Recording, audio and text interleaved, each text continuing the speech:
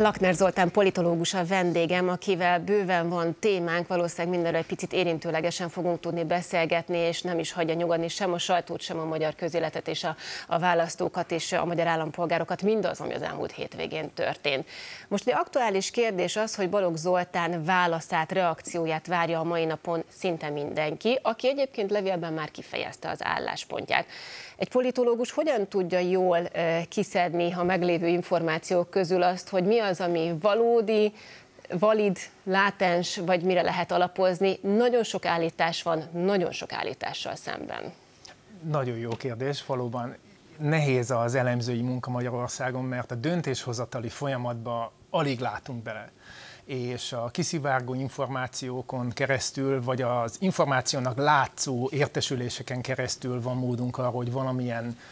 következtetéseket levonjunk arra vonatkozóan, hogy éppen merre tart az ország, vagy mi lehet azoknak a fejében, akiknek az a, az a dolguk, az a felelősségük, hogy az ország sorsát irányítsák. Néhány tanulság azért van ennek az elmúlt tíz napnak körülbelül, amióta ilyen turbulensek az események, és néhány közülük talán triviálisnak tűnik, de szerintem ezek nem annyira lényegtelenek. Az egyik az, hogy visszatért a magyar belpolitika. Szóval 2022 áprilisa óta szerintem olyan dolog nem történt az országban, nagyon sok minden történt, de olyan nem történt, ami a, ami a politikai viszonyokat alapjaiban rengette, vagy legalábbis kérdőjelezte volna meg. Itt most van, ami, van, ami ilyesmi zajlik, itt kinyílt a, változásnak, vagy a változtatásnak a lehetősége. Szerintem ez mindenképpen újdonság. Aztán valamilyen információt szerezhetünk arra vonatkozóan is, hogy a sokat emlegetett Fideszen belüli lojalitás, bajtársiasság határai azok hol húzódnak. Ugye Orbán Viktor maga szokta azt emlegetni, hogy bárkit, aki a harctéren van, megvédenek, ameddig ő hűséges, viszont tüzet nyitnak arra, aki árulónak bizonyul. Hát most az derült ki, hogy a végsőkig lojális emberekre is tüzet nyitnak, hogyha az a kérdés, hogy a miniszterelnököt kell egy botrányból kimenteni, vagy pedig mondjuk akár a köztársasági elnököt, akkor teljesen egyértelmű, hogy, hogy meddig tart, vagy, vagy, vagy kinek a megmenekítésére kell törekedni, ami azért szerintem szintén egy érdekes következtetés csomag levonására ad lehetőséget. Egy ilyen kialakult helyzet alkalmas egy már regnáló rezsim megdöntésére? Változásról is beszél, de vajon jelentheti-e az a végét ennek a rendszernek? Hogy ilyen elemző vagyok, és nem jó, és én csak arról tudok ö, ö, számot adni, hogy most valami olyan változás történt, ami szerintem két-két és fél éve ö, nem zajlott, vagy, vagy annak a lehetősége sem nyílt igazából ki, az, hogy itt Magyar Péter egy ilyen önálló, sajátságos tényezője lett ennek a botránynak, az, hogy ő részben kimond dolgokat, amelyeket talán sokan eddig is tudni véltek, de ö, most valaki, aki belülről látta, beszél ezekről a folyamatokról, és azért szerintem érdekes részleteket mond mondjuk Rogán Antal szerepét illetően, illetve a, a belső viszonyokat illetően, és azért ez egy harmadik következtetés, amit le lehet vonni, hogy miközben kívülről gyakran egységes tömnek látszik a kormány oldal, szemmel láthatóan egyáltalán nem az, tehát ezek a belső rivalizálások nagyon is erősek és meghatározóak, és hát lehet feszegetni valamelyest ezeket a réseket. Mi az izgalmas például Magyar Péter állításaiban? Ezt azért kérdezem így, mert nem egyedi. Egyrészt nem először ment szembe például Rogán Antal, ez korábban is jellemző volt nála. Másrésztről volt például egy Pesti László is, aki ugye belülről jött szintén, és kritizálta a rendszert, láttuk, hogy igazából annak se lett következménye.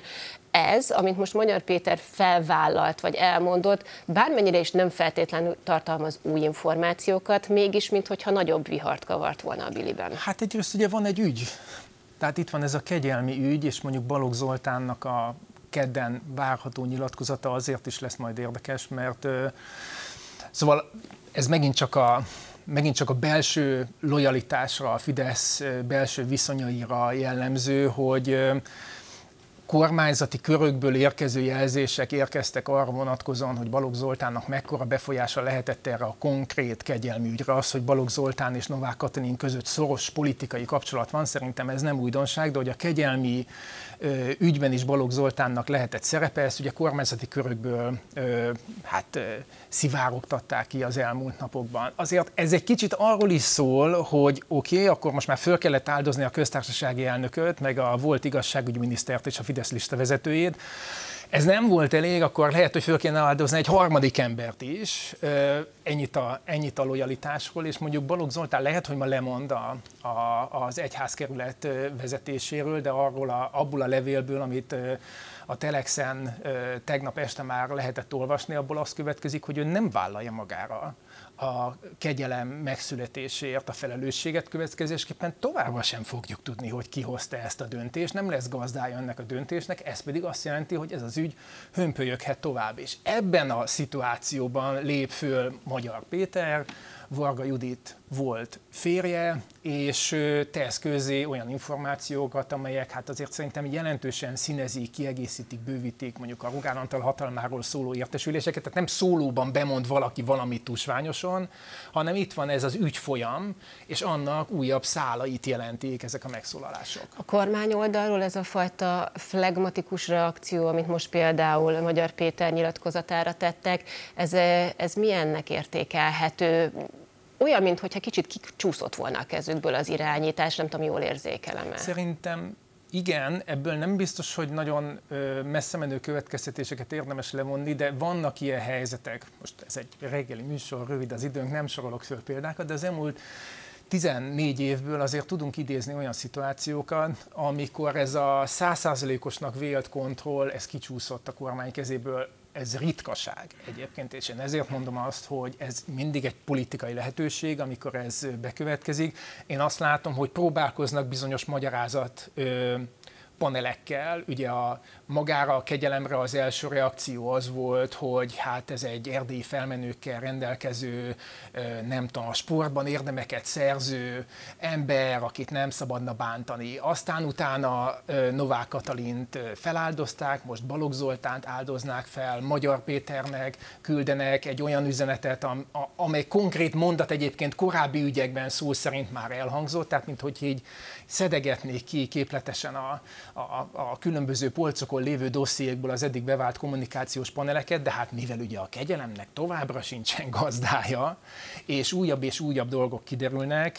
és újabb és újabb szereplők megszólalnak, ezért is fontos Magyar Péternek a szerepe e tekintetben, hogy egy, megjelenik egy ilyen, egy ilyen elszabadult hajóágyú ezen a szintéren, akivel nyilván nem kalkuláltak, és az már csak egy ilyen, ilyen kis színes, hogy én azt gondolom, hogy olyan, olyan közéleti szereplők is, akik valószínűleg, sőt egészen biztosan segíteni akartak Novák Katalinnak, vagy a kormány oldalnak, nem tudom, Skrapski Fruzsina megszólalásai, tovább görgetik ezeket a botrányokat, mert olyan dolgokat írnak le, amelyekről nem lehet nem beszélni, és megrökönyödést keltenek, vagy nevetségesek, de mégiscsak viszik tovább ezt az ügyet, és újabb reakciót váltanak ki. Ön szerint, hogyha egyébként beleállna a kormány oldalaba, hogy milyen döntési mechanizmusok voltak, és akkor az ember látná és érteni ennek a kegyelmi ügynek a kimenetelét, az, a, az jelenteni a végét? Én szerintem az a lényeg, hogy nem tud ebbe beleállni. Nagyon, nagyon jó irányba megy ez a kérdés szerintem, mert hát itt azért arról van szó, hogy akár Varga Juditról, akár Novák Katalinról, akár Balogh Zoltáról van szó. Itt Orbán Viktor által felemelt emberekről beszélünk, akik az ő környezetében meghatározó szereplők voltak, vagy ma is azok, Rogán Antal esetében is erről van szó, és igen, ez az egész kérdés arról szól, hogy végül is ki milyen felelősséggel ö, hoz döntéseket, ki kivel beszél, mielőtt döntést hoz, milyen szempontokat mérlegel, mielőtt döntést hoz, és tulajdonképpen mit jelent az, hogy valaki hatalmat gyakorol és felelősséget visel. Ugye a hatalom az felelősséggel jár, és itt úgy tűnik, hogy a ez sem újdonság talán sokaknak, de azért ez itt, ez itt kiömlik a nyilvánosság elé, hogy a hatalommal járó felelősséget láthatóan nem akarják elvállalni, és még egyszer mondom, most már tíz napja biztos van, hogy az első erről szóló újságcikk a 444-en megjelent, továbbra sem tudjuk, ha Balogh Zoltán sem vállalja el ezt a felelősséget, akkor továbbra sem fogjuk tudni, hogy ebben az ügyben ki döntött, tehát mehet tovább az egész. Rengeteg még a kérdés, és remélem, hogy fogunk is tudni a témában beszélgetni. Lakner Zoltán, köszönöm szépen, hogy itt volt köszönöm ma reggel. Szépen.